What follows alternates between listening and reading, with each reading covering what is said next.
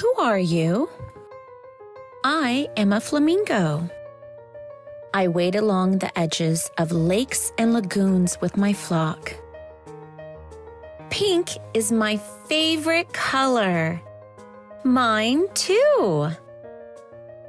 The algae and shrimp I eat make my feathers turn pink. If I don't eat these foods, my color will fade. Are you really eating upside down? My big bill works like a strainer. It filters out the mud and water, and I'm left with a mouthful of tiny plants and animals.